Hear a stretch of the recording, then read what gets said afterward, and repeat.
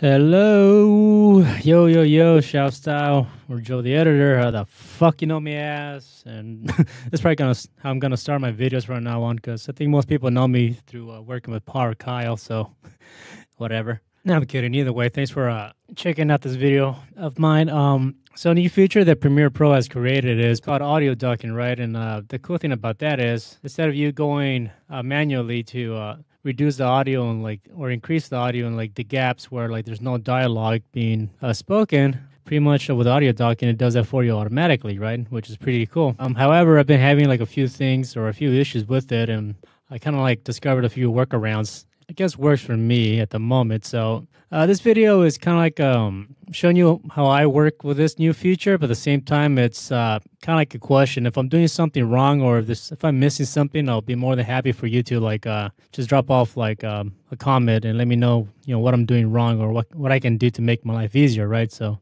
I'll definitely appreciate that. So we need the Windows Essential Sounds, right? So you just go to Windows, you go down here, and uh, yeah, you click on Essential Sounds, right? So I already have the window open. Uh, this is from a previous video, and I just you know created these gaps to demonstrate what I'm talking about. Obviously, if you want background music, you want your the volume of your main music to be low, right? Low enough so you can hear the dialogue. But when there's no like dialogue, you know, usually it's just common practice to increase the volume uh, just to fill in those dead spaces, right, of no audio or no dialogue being spoken.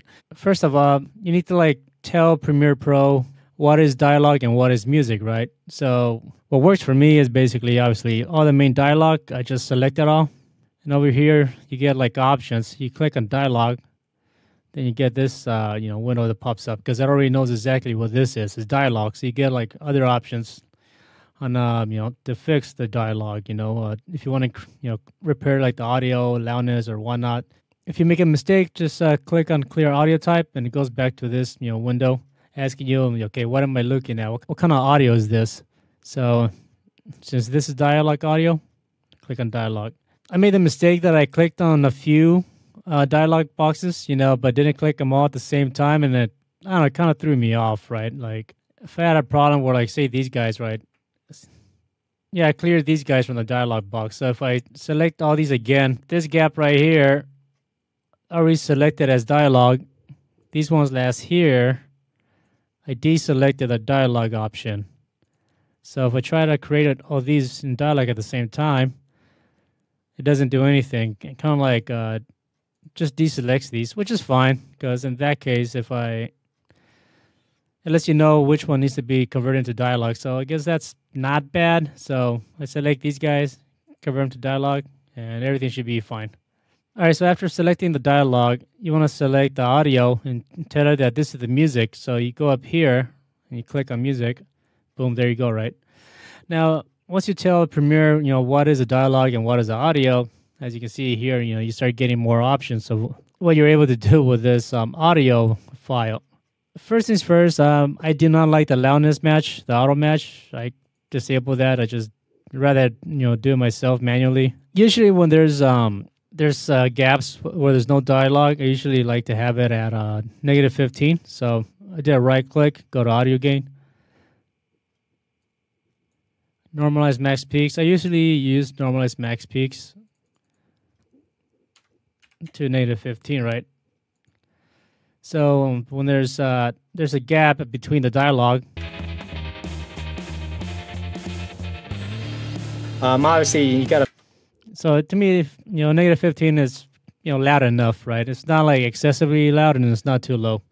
Now, obviously, um, we need to like reduce the volume when uh, when there's when dialogue appears, right? So there's a thing called ducking, which I think is awesome. You can check on it. And I'm just using the default features right now. So if I hit generate keyframes, it's going to take a while. That's probably one thing I also notice is like uh, it does take not too long, but you know, it does take its time. So as you can see here, it created keyframes between the gaps that increases the volume and like the areas where there's dialogue, the volume gets reduced, right? So let me zoom in here you know, it's pretty cool. So clean, you know.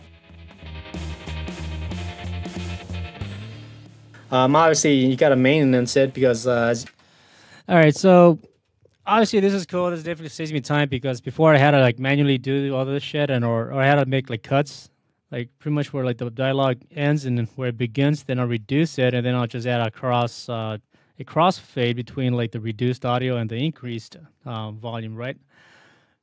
However, as, as you zoom in here, as you can see, like the the increase of volume it happens after the end of the dialogue, and also the decrease of the music volume begins before the dialogue enters, right? So I don't like that because like it's like there's a little moment of silence that you can hear like the music swell and decrease. You know. Um, obviously, Yeah, I don't like that. I kind of like it to have more of a kind of like an overlap, right? So messing around with uh, this ducking feature, pretty much what I discovered is well, one, uh, the phase is too much. I set that to 300. Uh, that's what I like personally.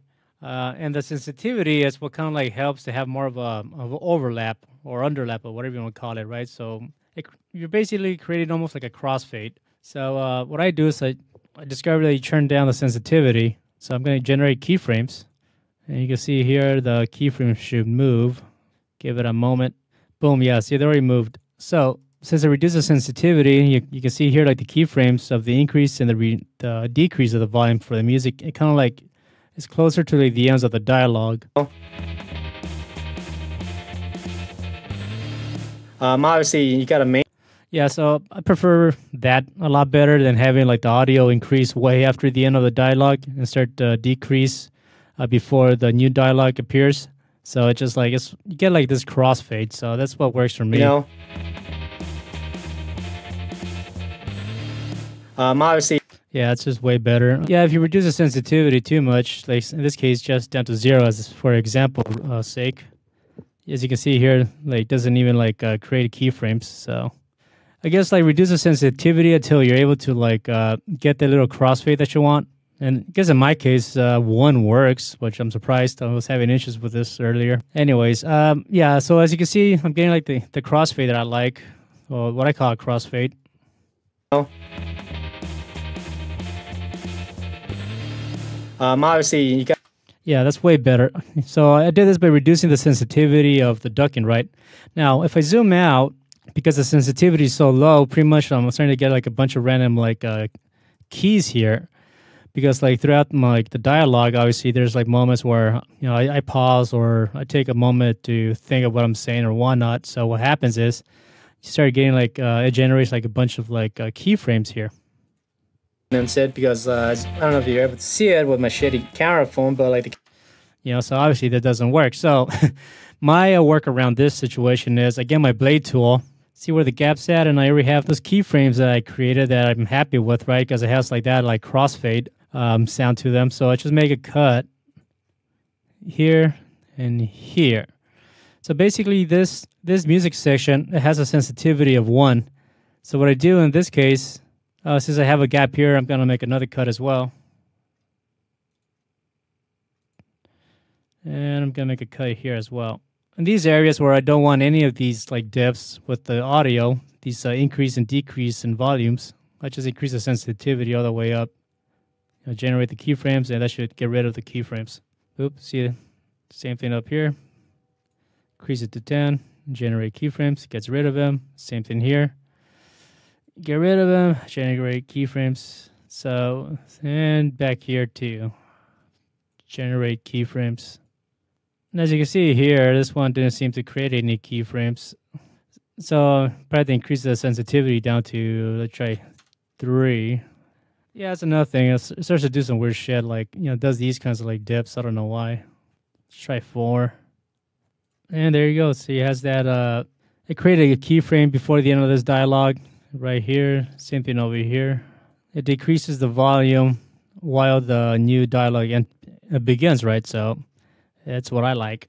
were to take this key, this mouse would.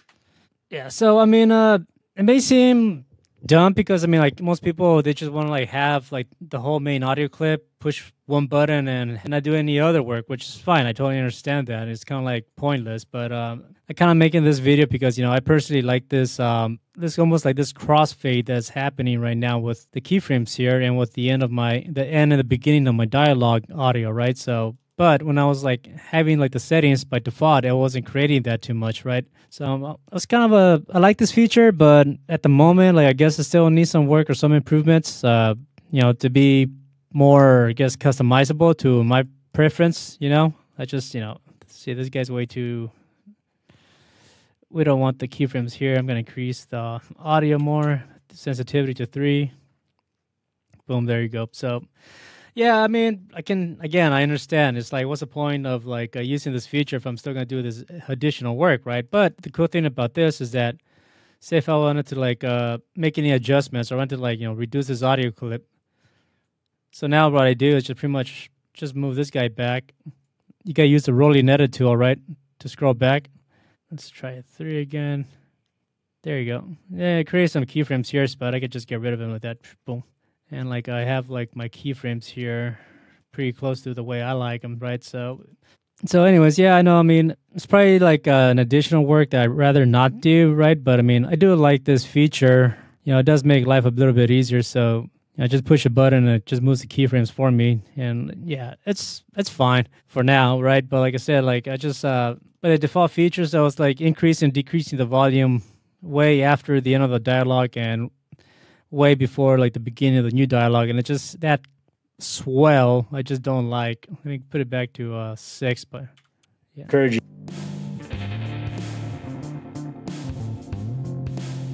I'm actually t- yeah, that just sudden increase and decrease in volume I just don't like. So that's why I kind of do it this way. So by, by messing around with the sensitivity, you know. Encourage you.